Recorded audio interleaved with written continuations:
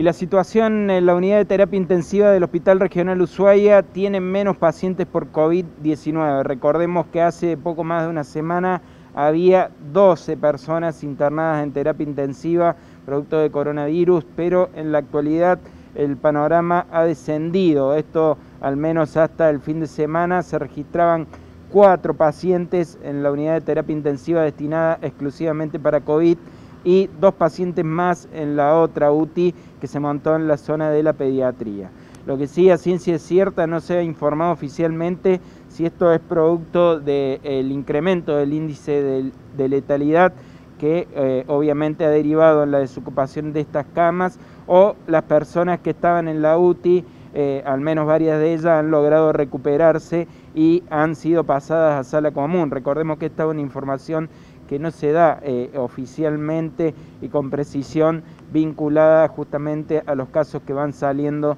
de las unidades de terapia intensiva. Lo cierto que, eh, bueno, el sistema tendía a estar por el 85 o 90% por encima, digamos, eh, la ocupación tendía a estar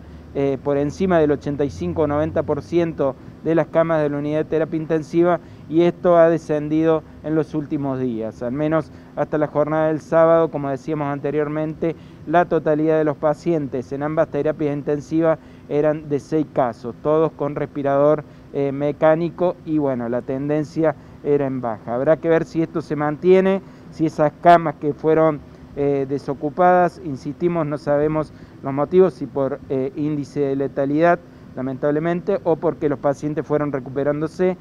pero el seguimiento habrá que hacerlo con relación a esas camas si vuelven a ser ocupadas y la terapia vuelve a estar por encima justamente del 85 o 90% de ocupación. Esto se irá viendo seguramente con el paso de los días y ver justamente si el incremento notorio de contagios en la ciudad de Ushuaia eh, deriva justamente en casos graves que tengan que ser asistidos en la unidad de cuidados intensivos de aquí del Hospital Regional Ushuaia.